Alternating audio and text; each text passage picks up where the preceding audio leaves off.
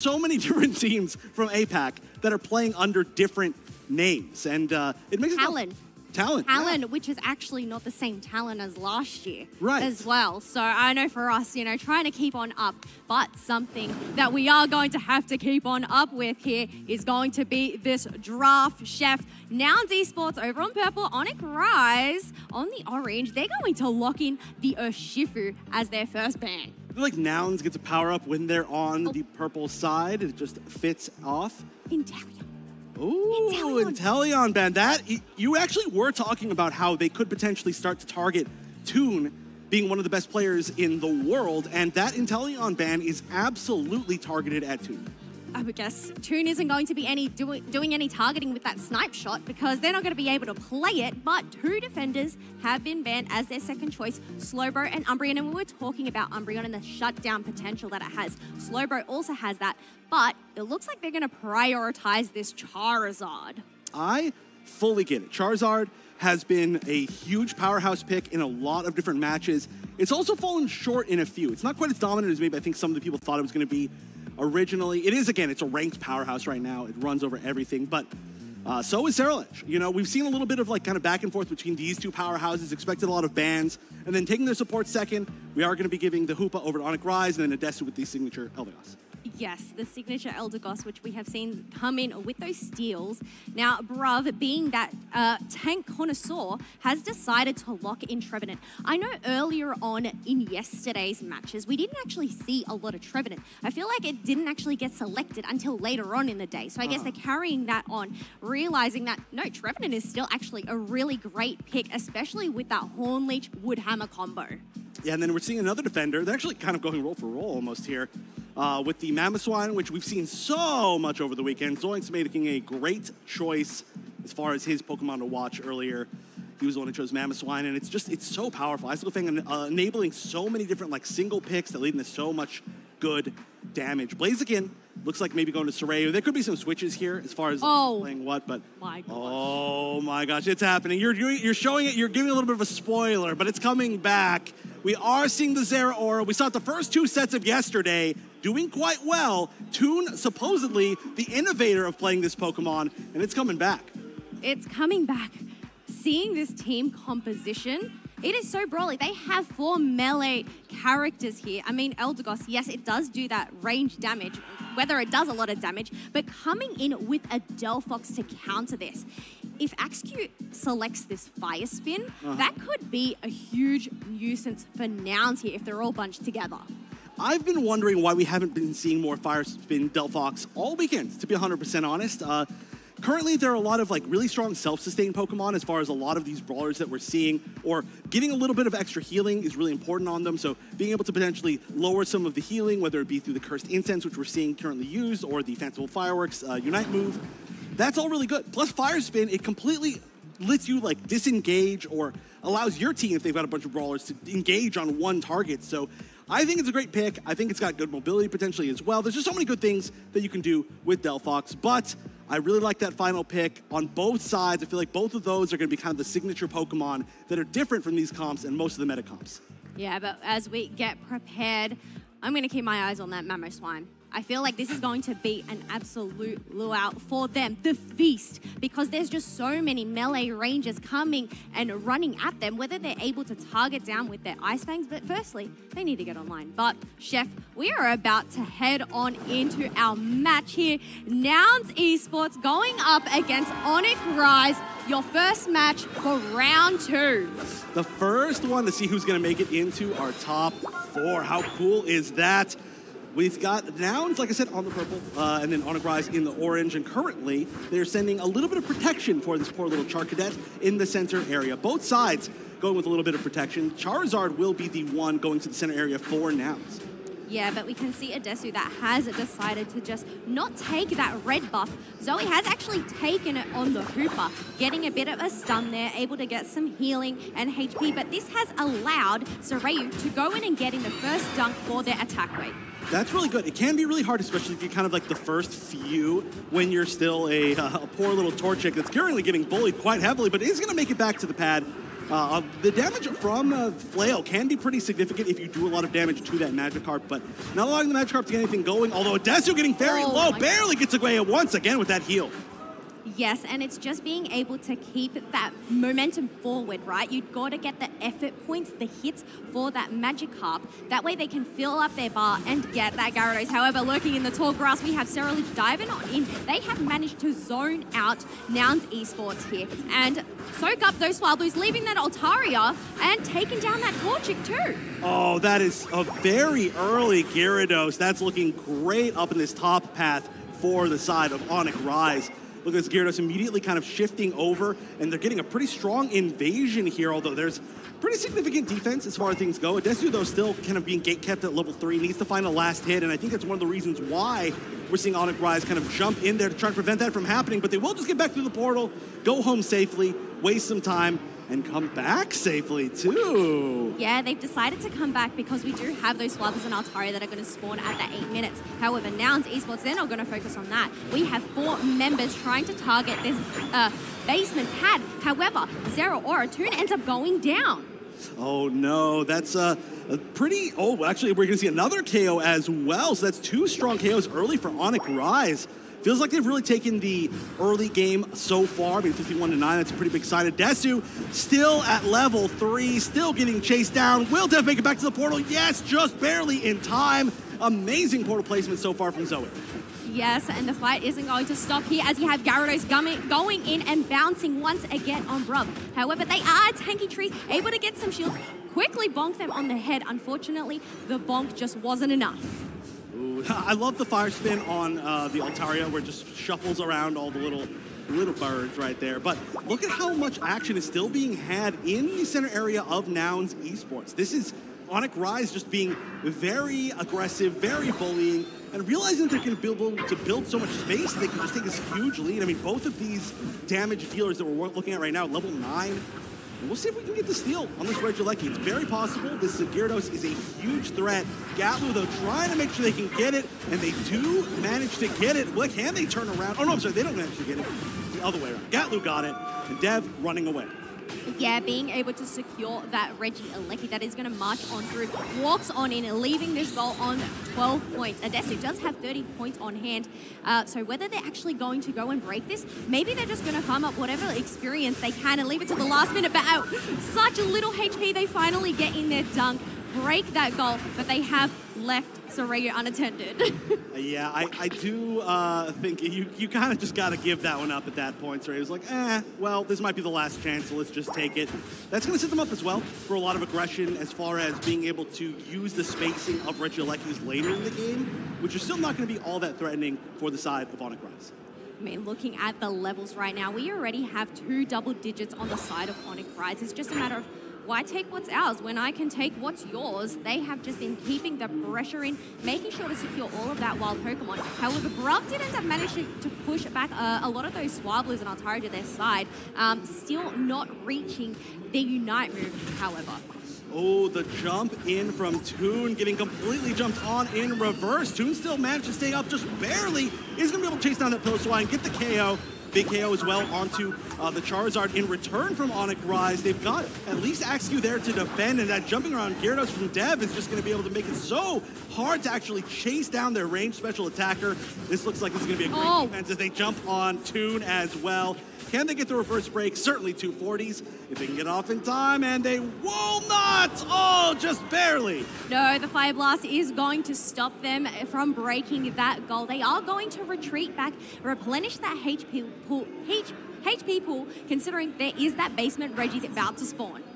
They're going to need to. Uh, it's going to be a little bit before the uh, Regieleki up top, but pretty much most of Nouns is down here, all but Toon, and uh, there's only three members of Onic Rise. They do have better positioning as far as being closer to the Regice, but they've got a tough fight as far as range, and they can bring down everybody popping the Unite move for Hoopa. That's going to bring down at least Eeyore to be able to try and just burn down that Regice while this fight is happening. Axew in the back line, Revenant Ren coming through. Looks like it was maybe, no, actually it looked like the Blaziken was able to take down last hit on that Regice in the side of Nouns. Rayo going down in return, though. And so they did manage to lose one member apiece, while Nouns came out slightly on top via getting the objective. Yeah, getting the objective, but also getting the HP replenishing here. But the fight isn't going to stop as you have a Luna being able to solo out an Ice Fang, that Zeraora down. They're just trying to see if they can try get another pick. However, that Ice Fang was not able to land its mark there. Yeah, it's, it's definitely a very short range, sometimes kind of hard to hit and move. You actually do not have a lot of leeway with it sometimes, so uh, we could see a lot more whiffs if these players weren't quite so good. Big bounce coming in, but the counter the bounce say, you jump into my arms. Gatlu popping that Charizard Unite. Can to get the side KO kind of on that Ceruledge, but continuing back onto his original target as everybody on the side of Onic Rise is starting to get quite literally melted. Having to use that Unite to try and get away. They're going to take the shield from it, try to turn on the Desu, though, who is going to go down. Toon jumping in, getting a return KO. This is all back and forth, over and over. That portal means maybe you should back up, get some healing, because that Gyarados is coming back. I feel like the Sky Ruin just turned into a trampoline park there. The way they were all bouncing around with their Unite moves and the Gyarados as well, just jumping up and down. However, we have a minute until the final stretch. 115 to 105 points, now 145. Still a really close match between these two teams. It is. It's really uh, going to come down to, I think, the final moments. The levels as well are very, very close. I would say overall Onic has a an advantage in most spots. Uh, I feel like the real turning point could be whatever happens if they decide to fight at this bottom Reggie, but this is a pretty big uh, risk, one would say, to take because we're getting really close. We're going to be at about 30 seconds left as it spawns until Rayquaza spawns. So how much do you really want to commit to this? How much do you want to uh, forfeit, basically, for free. Well, it is a Regice, so we're going to have to see whether they're going to prioritize it. Uh, Nouns looking to just retreat along with Onic Rise. So 18 seconds left to go. Do not want to get caught in that fire spin. Um, but no, we have Gyarados going and poking at it. We might end up seeing the fight down here. It, we might. This is really awkward. Uh, it looks like everybody's just going to maybe decide to walk away, which may be the safer option. But uh, yeah, that's going to be despawning. Uh, I think they were just trying to see if anybody was going to overextend. That shows a lot of respect for both these players. Makes a lot of sense for how close it is.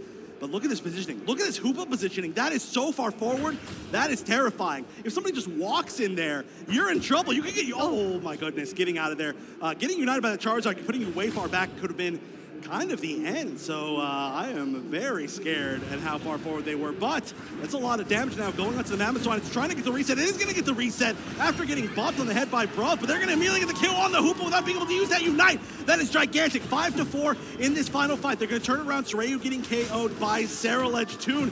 Chasing down Eeyore. Just barely going to be able to get that KO as in the back. They traded once again one for one. Three for three here. Well, I was going to say in the center, but now they've moved down to the bottom path. But the thing is, Onic Rise still have two Unite moves on hand, the Hoopa and the Gyarados to utilize. Nouns Esports have used all of their resources. They are the ones that are behind, so they need to try and get a move on, considering we have less than a minute left. Right, and I mean, Soreo has the Unite, but that does not count because it is Blaziken. So they've got to find something. There we go. Hoopa Unbound being popped. Who's going to go through? We are going to see Dev at least go through, but most of the other members are already there. Pulling oh back. Oh my gosh! That's going to be Toon. Oh, getting KO'd in return. Everybody going to support their own support. Bruv starting to get really low. They are going to chase down as well a Desu. That's one more going down. Two members left on the side of Nouns. Rayquaza is getting a little bit low, but I think Onic Rise is going to target down every member of Nouns before they get a chance. That's a full team wipe. And with the lead and 20 seconds left, Onic Rise will take the first Rayquaza. That was absolutely wild. We had one fight and then another fight. It just seemed to draw on out. However, being able to get that team white and just keep Nouns at bay, getting those shields, going to just pad those stats a little bit further. Wowee. Yeah, I mean, you might as well, when you're there, take no chances, get the maximum points you possibly can every single time. But that was close. That was scary. I mean, that was such an even fight that was so extended, but it's so the better position within that final moment. Plus, it was a lot of cover picks, I think, for both sides. Yeah, so we're going to head on into our draft. We have Nouns on the purple side still. They have decided to ban the Hoopa.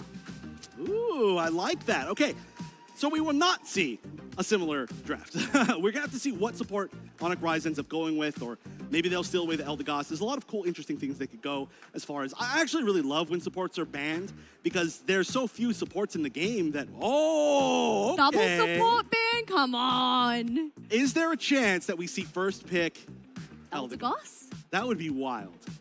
Ooh, but then No. this is up to Onic Rise. Uh, whether they're going to ban you know, something else. No, they have actually decided to do two target bans here.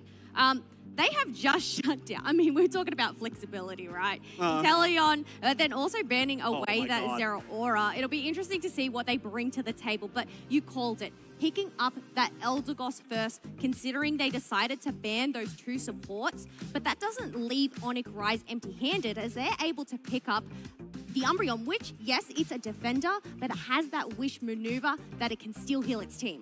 Right. They've uh, they basically uh, shoehorned them into using that. We could, we've seen some Comfey as well. I mean, it's not like there's no other, no other options, but currently we are seeing a lot of good uh, support Umbreon usage. However, it's been a little bit more effective in the the kind of tank role, the defender role, the true defender role. So I do like the fact they forced them into it, and now they know exactly what type of healing they're going to be fighting against and how they can potentially counter it themselves. As we're going to see the Slowbro picked up, Sarah picked up, a lot of similar picks, uh, except for that Slowbro, which is pretty interesting. Yeah, well, that's actually led out onto the field, so Bruv is going to pick that one up. It'll be interesting to see what Soraya and Toon pick up last. I mean, it was a very brawly comp uh, last time. Uh, we didn't see a lot of range, so is that what they were missing? Are they going to go for more range, or are they just going to go for more brawlers? No, they're going to go for more brawlers. Three all-rounders on this team? Ooh, this is really interesting. Uh, yeah, three all-rounders is, first of all, very, uh, well, I guess we're seeing a decent amount, but seeing the Lucario, this has been a question for a lot of people. Soraya very well known for Lucario through a long, long, long time, years, but Lucario not really doing so hot in the meta right now. On the other side, we are going to see the Dragonite, which we've seen a lot of the Asian teams do very well with. Uh, and then aside from that, pretty much entirely meta picks. So that's looking really, really solid. But uh, aside from the meta picks, which we have seen Mimikyu both pop off and kind of not pop off, I think Lucario is the biggest question mark for me. What value does it bring? What build will we go? And why choose it over something like Blaziken that has not been picked nor banned? Wait, yeah, that is actually a really good point here. Maybe this is just a comfort pick. I mean, looking at that, maybe they might end up going for that power up punch because it seems like they are lacking the secure over their side. I mean, we've seen Dragonite go and secure some objectives here and there. Um, whether they're going to go with that Hyper Beam so they have that extra secure. But you know what? Three all rounders on either side. What do you think about that? I think that's where our meta's at right now. Basically, uh, we just kind of have to accept that fact. But uh, I do think that we are going to see. Uh, a, I'm okay. First of all, it's more different than I thought it was going to be. But I think we're going to see a game where the slow beam is going to be very important. Slow beam, I think, is classically very, very strong when we're in a meta where it's like one big target is the issue. Whether it's going to be like a Zacian that you want to hit, or whether it's going to be a big speedster like a Zoroark. But now it's like, who is your main target on the other side? The Ceruledge maybe, the Gyarados maybe, the Dragonite maybe. We're going to have to see, but only one way to find out. Now it's esports fighting for their tournament life. One more game for Onic Rise to potentially move into our top four. Yes, here we go. We're going to send the Charcadet and that Charmander into the central area. The Magikarp once again going into that top lane. Um, just need to get those effort points. However, Zoe has already been shredded down to half HP on this Eevee. Well, we did see a lot of aggression from Onic Rise in game number one, so time to see if we can see maybe a little bit in return. No invasion. Once again, kind of the center area Pokemon are going to be the same. Getting a little bit of support, but this time it does seem like Nouns on top will be a lot more aggressive. That Mimikyu, plus that Gossifleur. Like I was saying, the power of Gossifleur slash Eldegoss is that in path, it can be very scary, especially with the red. I guess in comparison to a Magic Magikarp, Mimikyu doesn't need to evolve, so it does have that early level advantage. We have that uh, Ceruledge already online, trying to see whether they're going to go into the bot, the top. It looks like both of the central areas are actually going to opt for that top half. I see ER just hiding there, waiting, seeing if they can find anything. Maybe one juicy target to help that Gyarados evolve. But the juicy targets right now are just going to be experienced, and they're going to be backing up. It doesn't look like anybody's jumping in all that far. Maybe a more passive game, actually. While I thought it was going to be a little bit more aggressive, it is looking very, very passive. What's going on there with that? that Magikarp just splashing around? I mean, there is a lot on the line here for Onic Rise, so maybe just trying to play it passively, wait to get that splash so they can get that Gyarados, and there we go. The last hit on the Bunnelby was able to give them that evolution, and now they have that bounce move. Once again, a similar timing as far as evolution for that Gyarados, around the 8 minute and 20 second mark. It's going to be pretty good timing. Uh, you realistically want it by about 8 minutes, and so that's going to immediately be a gigantic threat up top. But we do have Mimikyu, who's kind of already powered up. Most of the power spikes, I would say, have been relatively hit, but boy, we're already at level 7 on that Ceruledge with Eeyore. That is going to be a very scary threat. Currently moving in, and oh no! Gets dodged by the evolution animation. And Toon now, who by the way is on that Charizard, is turning things around as far as damage goes. What an absolute kick from Aluna there to Ice Fang Adesu into their team. So once you don't have healing, there's not really much you can do except retreat. I mean, you could hold forward and maybe go back to base that way, but uh, no. Uh, that was definitely a time for them to back off, especially if you're only giving up one KO that's on your support. Going to be low level. You're not going to be giving them as much of a reward. You're not going to be losing that much XP on that Pokemon because they've got the XP share. But we're going to see a spawn up top, entirely going to Onic Rise's side. And it does show that the good majority of them are going to be up top for that Regieleki potentially, although they are rotating down with just enough time. So I like that. Showing vision of where you are and then immediately moving. I feel like this match so far has been so close. Nobody has decided to dunk any points yet. But as I say that, Umbreon has dunked in the first goal, 26 points, but we have both of those objectives up, another five just to try and get some stacks in. It's going to be a Registeel this time around, Chef. Now we'll see if they can get the Registeel on the Registeel as currently it's getting really low. Nobody really targeting each other. Trevenant going in, and the going to go to the Slowbro somehow on the side of Nouns. They're going to get that Surf as well to help secure that KO on Eeyore's Ceruledge. Two very low members of Onic Rise remain to defend, and I think they're just going to have to back up. What else can you do? No, it looks like they're just going to retreat. Do they have enough points? They've left it on five, so this could be a 25 overdone. However, Soraya is making sure to get in those attack weight stacks that they missed out earlier on up in the top half. We have Onyx on the uh, chase onto Gatlu, who ended up catching themselves in a pickle.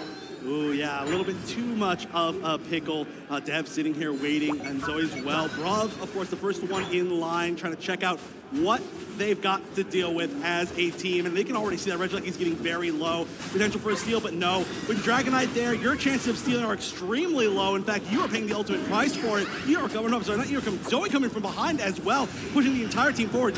Toon using a very, very late Unite. They are going to be able to back up in time. They're turning this around with the damage, but just barely, as that Umbreon is going to live for such a long time. Big Unite coming out from Dev on the Gyarados. Not quite enough. Still trying to chase down here. Oh, they almost they almost lit that Regieleki in.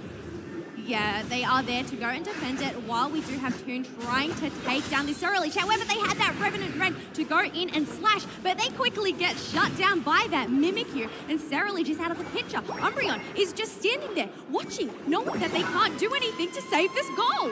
Oh, that's a bad feeling. You're like, well, I really wish I could do something right now, but uh, all I can do is sit and wait. So, with such an aggressive game one from Onic Rise, it feels like things are turning around completely. Level advantage at the halfway mark and point advantage, both pretty significant for the side of Nouns Esports, which is really, really good because they, obviously, they're fighting for their lives here. They're the last bastion of EU, and they've got to win two in a row yeah, they need to win two in a row here, but one thing they need to focus on is going to be this objective.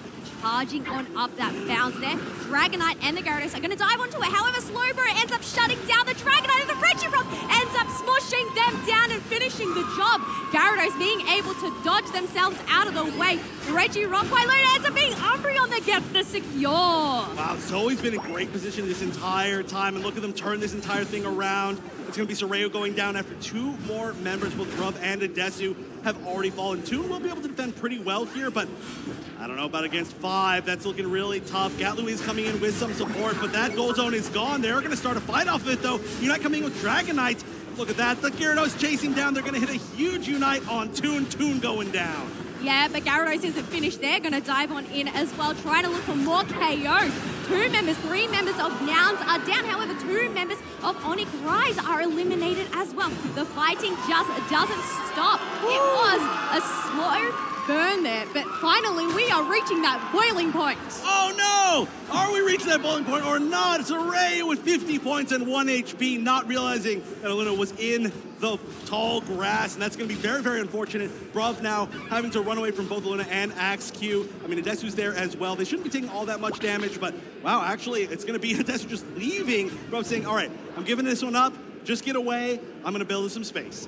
Just got to take the KO reset as they can, but 195 to 123. Now still have the lead. They have Lucario and that Charizard at level 13. However, Onic Rise, despite the points discrepancy, they've managed to keep up in levels. They have. It's actually very impressive. Uh, they're just barely, I, I, think like they're just barely on level, I guess I could say. We could see them out level very, very soon just because they've been so far ahead on the side of Nouns Esports, but they've got about a 72 point lead, or exactly a 72 point lead, so they can hold on to that. This is going to be really big. I feel like if this basement Reggie can go to the side of Onic Rise, they'll be exactly even, or maybe even slightly ahead as far as levels go, as Nouns is going to prioritize that Regieleki to get more pressure onto that top. Yeah, but it's interesting because none of Onic Rise are going to actually retreat and defend that. They're going to let it crash. Instead, they want to prioritize this Reggie steal, which will be huge for the team. Rubs going in, see if they can get the steal, but no, Onic Rise get the secure with Lynch. Ooh, that is tough. And honestly, you're in a scary position right now. I don't know if you really want to go in on the side of Nouns. Yeah, they're going to back up. But now, look at this. We look at the levels, and it is exactly even, but then slightly ahead. Oh, I'm sorry, it was exactly even. Now it's slightly ahead on the side of Onic Rise. All of their lower levels are just slightly ahead. The points lead still in Nouns' favor, but again, they've got to win here. They've got to defend, they've got to flip it something, or they're going home, and Europe is losing the last oh representative. Oh my gosh, the eject button paired up with that earthquake, and they are, Mamoswine is rumbling the floor, chucking them up in the air, being able to take down two members, and now they have siloed out that Slowbro, who is now on the chase as they are trying to shred down this Rayquaza. However, they first need to deal with the Charizard who's up in the air. However, the move had just ended up ending and ends up being Dragonite. You cannot be unmatched with a Hyper Beam secure. Hyper Beam, there's one thing that you want to do with Hyper Beam, and that is burn down Rayquaza. Points lead now barely in the favor of Onic Rise. They're up by about 108 points. They've got to counter score on the side of Nouns. There's still a minute and 11 seconds left. It's very possible, but look at this. Axew with 50 points in pocket. Still has a shield. Umbreon hiding up on the top path. Adesu does see Axew. They are going to be backing up, maybe trying to take some time. They can still potentially build back maybe a Unite move, be able to Unite in, use that shield safely. Zerayu trying to sneak ahead up top. They realize they're not going to be able to do anything. They've got to back up. Maybe they've got to win a team fight, but Nouns has to make a move now. This is very, very close. The score lead is less than 50 at this point. They've got to do something. And it looks like they're going to collaborate together onto this bottom path, trying to protect Toon at all costs as they end up getting 90 points, and that is going oh. to break them in the lead. But Umbreon ends up getting 100, and now Onic Rise to have the lead once again. They need to try and take the fight, get the KO. Ceruledge has been taken down. Once again, Trampoline Park as we have them jumping on through with the jump pad and the Unite move. But oh my gosh, more points went on through. 449, oh. 523, 10 seconds left to go. Can oh, you get oh, any more? Is that enough? More? Is that enough? It's going to be so no close. Idea. We saw another 10 from the Charizard. We saw more from the Slowbro. Is it going to be enough? No goal zones left on the map. Last chance for Nouns. We've got to look at the score. Who is coming out ahead? Left side purple is Nouns. Right side is Onic Rise. And the winner oh! is Onic Rise by two points, eliminating Nouns. Bingo, Chef. We just had a mark off that with five or less points, but Onic Rise clutching it with two points because of the back caps there, even though Nouns tried all they could to push on forward. Unfortunately, it just wasn't enough. It was an amazing attempt. Nouns fought literally to their last breath, but they were just, just short. Unbelievably able